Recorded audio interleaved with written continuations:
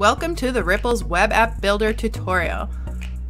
Under your organization on the Ripples Cloud, you'll find a new section called Web App. Click the Skin Designer. Here you can change the name of the web app you're building and add your description. Don't forget to add your Instagram URL so people can tag and share when they post online.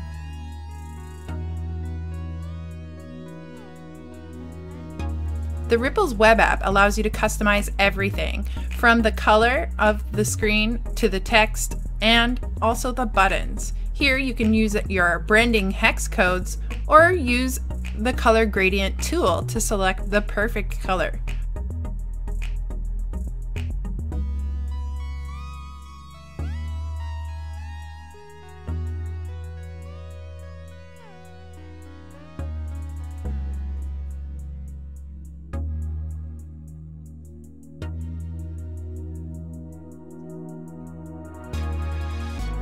You can also select different workflows where people can send from their library, send a text, or choose from the designs that you've uploaded on the Ripples cloud.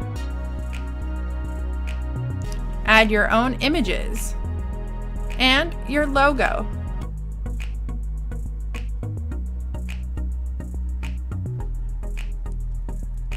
You can change the text inside the Ripples web app just remember to toggle off the default text and add your own.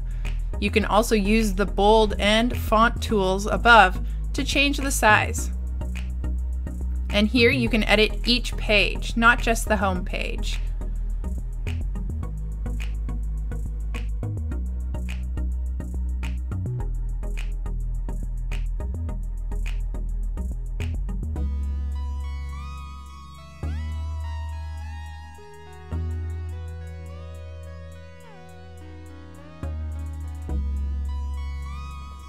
To assign your web app to your location, go back to the main page. Under Admin, click on Locations.